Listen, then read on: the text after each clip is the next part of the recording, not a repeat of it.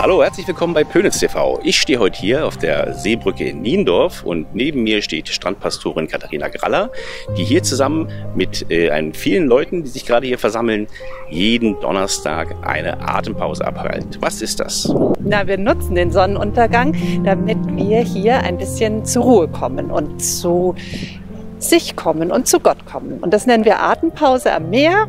Und wir machen das jeden Donnerstagabend in der Hauptsaison im Juli und August. Laden wir alle Einheimischen und Gäste ein, hier mit uns eine halbe Stunde Pause zu machen, Atempause. Was habt ihr denn für heute geplant? Was, also wie läuft so eine, so eine Andacht ab? Naja, das ist so eine Mischung aus bisschen Singen. Wir dürfen ja draußen singen, das ist sehr schön.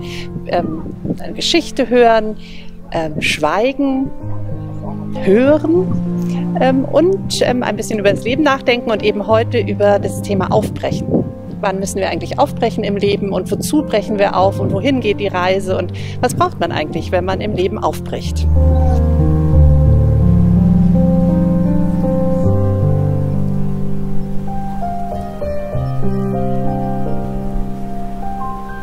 Das ist Lena Sonntag, das ist ja die Kantorin von Niendorf, ähm, spielt Klavier. Wir haben sonst auch mal Gitarre oder Querflöte, alles was gut draußen klingt und trägt.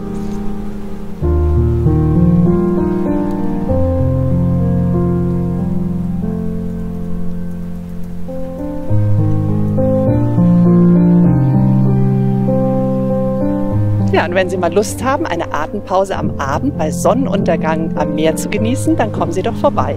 Jeden Donnerstag im August um halb neun abends.